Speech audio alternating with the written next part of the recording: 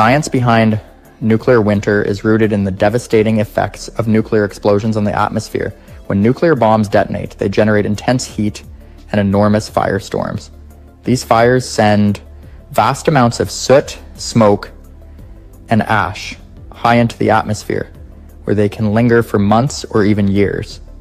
As these particles block sunlight from reaching the Earth's surface, they significantly reduce temperatures across the globe.